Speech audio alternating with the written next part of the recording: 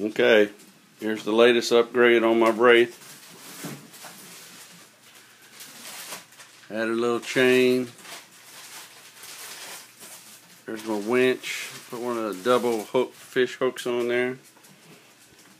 I just got my aluminum panels and roof today. They go along with the back. I also made this trailer hitch.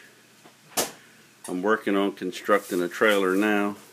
I'm going to change that antenna tube to a black one, I believe. I'm going to make a I'm going to make a top inside here to cover all my electronics up.